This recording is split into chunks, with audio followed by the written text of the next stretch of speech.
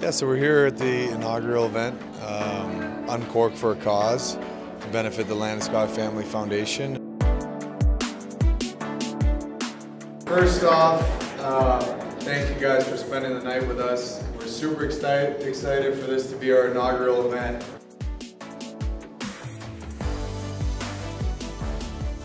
The proceeds are going to Together for Change, which is a anti-bullying organization that we worked with for for quite a few years now. So it started back in Sweden.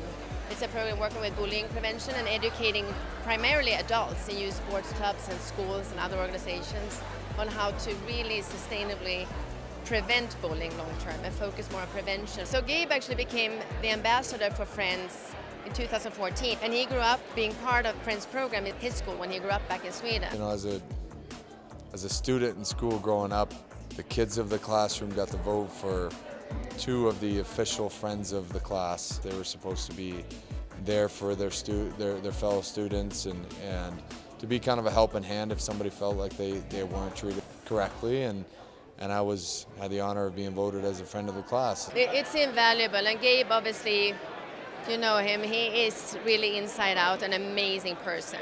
And we couldn't have a better, better spokesperson for the organization because he stands up for for what's right. And he is, we, we break down bullying into negative or degrading treatment, and he's someone who would never treat anyone in a bad way. It's a conversation that's important to have with your kids, with your friends, with your teammates, with classmates, and I think us as adults in the room are should be responsible and should feel pride in having that conversation, not be afraid to have it.